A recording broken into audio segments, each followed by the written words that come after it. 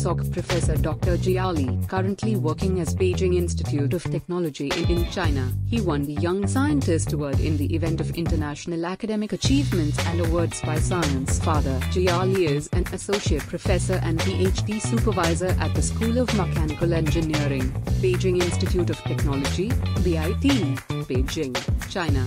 His academic and professional journey is marked by significant contributions and experiences in the field of mechanical engineering, particularly in energy systems and related technologies. Jian Li's career reflects a strong foundation in mechanical engineering, with significant periods spent in renowned institutions like Tsinghua University and the Royal Institute of Technology.